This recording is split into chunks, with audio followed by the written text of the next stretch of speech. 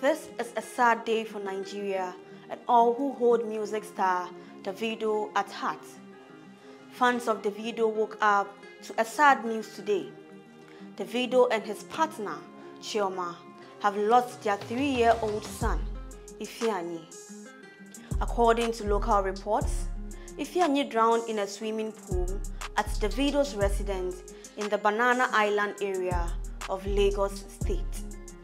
Details of how this happened is very sketchy, but it is said that both parents were not at home when the unfortunate incident happened. This news has left many heartbroken and confused as Davido was seen in a viral video teaching Ifeanyi how to swim on Monday.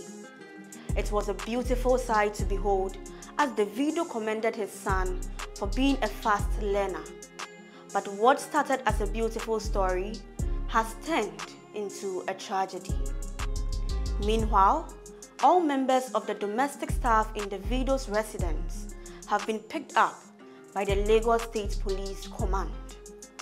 The command spokesperson, Benjamin Hundeyin, has indicated that the police will get to the bottom of the incident.